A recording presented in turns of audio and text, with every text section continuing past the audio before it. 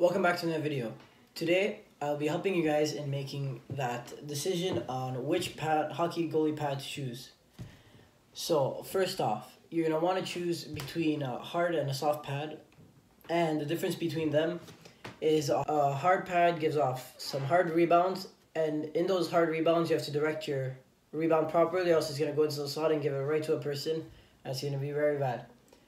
And the other thing you have to choose from is a soft pad.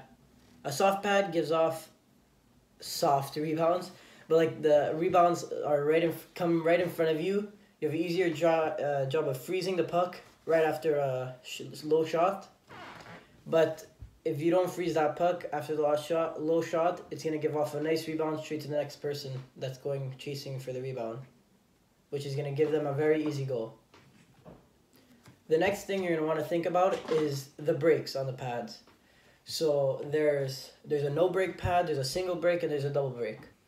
The no break pad is good with for people that have a wider butterfly because you have to flare out your legs more to close that hole, the five hole, and because it's gonna be and it's also a, a stiff pad it's going to make the pad a lot stiffer and less flexible in those areas where there would be knee breaks where there is none inside the the no break pads.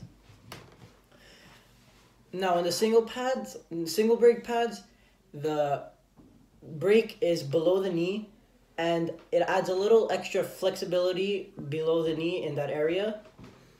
And and single break pads are good for the goalies that need an extra like help to close that five hole because it adds a little extra flexibility in that area.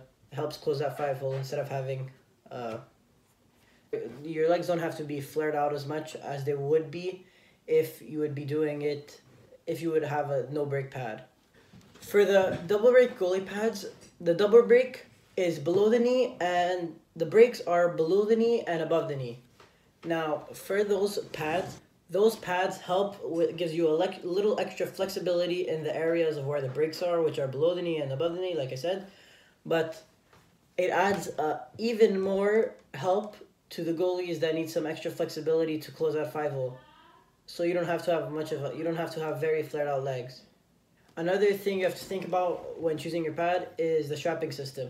Whether it's synthetic leather straps with buckles or it's gonna be Velcro now the advantages of having Velcro is that it's very it's much lighter than synthetic leather straps with buckles. Another thing you're not going to want to forget about when you're choosing the pad is the toe tie system. Whether it's laces or it's pro laces, you have to know what you want. This for this there's no advantages to any of them. It's all about preference.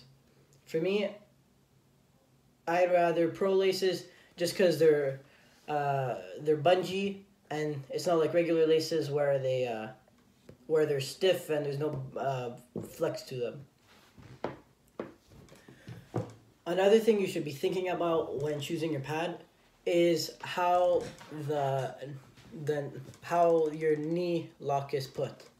Now, for the the knee where you put your knee, some pads have the padding on the front of the pad on the inside of the pad, but on the front and not on the side. But we don't go on. We don't. Uh, we don't go on our knees. We're not go. We're not on the ice on our front of the pads anymore. We're only in butterflies. Like we're not like uh, how it was, uh, back then in the nineteen hundreds, where they the goalies went on their knees to stop the puck on uh, on the front of their pad.